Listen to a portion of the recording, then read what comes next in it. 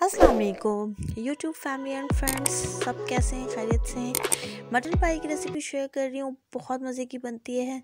चार पाए लिए हैं मैंने मटन के। इसमें सबसे पहले इसको थोड़ा सा वेनेगर से वॉश करके आप बॉईल कर लें, ठीक है? ये मसाले हैं जो मैं आपसे शेयर कर रही हूँ, जो हम इस रेसिपी में यूज़ करेंगे। आपको डिस्क्रिप्शन में भी ये जो है वो मसाले सारे मिल जाएँगे। और जैसे कि आपने देखा है इसमें जो है वो आ, सारे मसाले प्याज अदरक लहसुन ठीक है गरम मसाले पाए का ये जो है मैंने थोड़ा सा पाया मसाला यूज़ कर रही हूँ मैं इसमें जस्ट फ्लेवर के लिए ठीक है।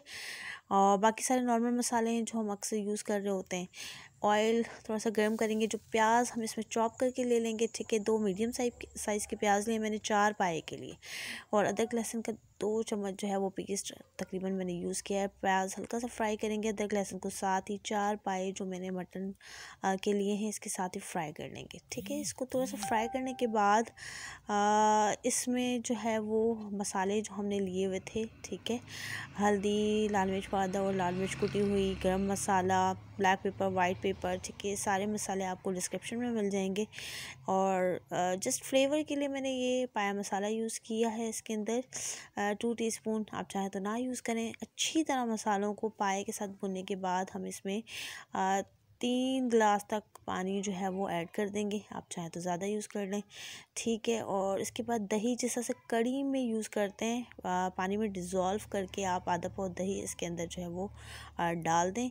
जोश आने के बाद ढक्कन ढक हम इसको जो है वो मीडियम से थी लो फ्लेम पे पकाएँगे। ठीक है, जब तक के पाए ना गल जाएँ। देख लें, इस तरह से पक जाएँगे ये। और उसके बाद आप इसको जो हाई फ्लेम पे इसका जो, मज़ीद पानी है वो खुश कर लें।